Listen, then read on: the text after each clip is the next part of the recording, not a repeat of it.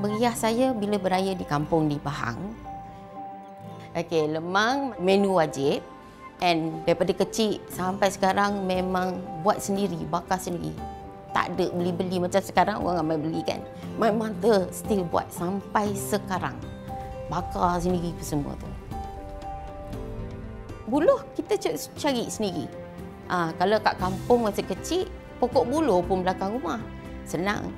I pernah tanya nenek, nenek kenapa nak kena guna santan fresh? Nenek I akan cakap, nenek dah makan banyak garam je. Dengar cakap nenek, confirm sedap. So far tak pernah tak sedap lagi lah. Dia punya masakan. Kita masak dalam gulai kawah. Even our buluh pun kita orang masak sendirilah. Ada lemang.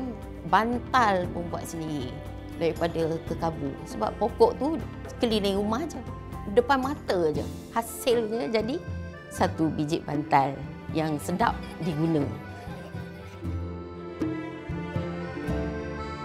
Baju tu kain batik. Sebenarnya every year I pakai baju tu untuk sesaja je. Rasa macam eh nak pakai macam nenek lah.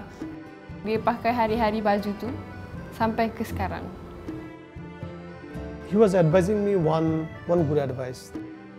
Idul Fitr is a celebration of donations. You are given gifts. Donate to your needy friends. Donate to you poor people. So that's one of the advice I can share. My father gave once to me, but I can recall that advice every time.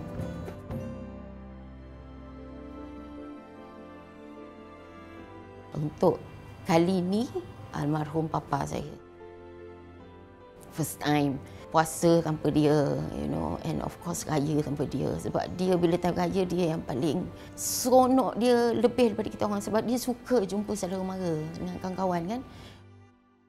So bila this year ni orang yang pertama kita orang akan rindulah untuk raya start raya tahun ni kan? No matter how far you are uh, no matter how old whatever the age always check on your family